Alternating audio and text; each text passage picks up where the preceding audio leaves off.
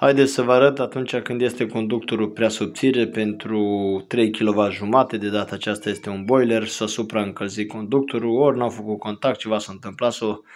ars, s-a topit, siguranța n-a declanșat pentru că nu este nici diferențial și siguranțele sunt rele și asta s-a întâmplat, putea să fie mai rău.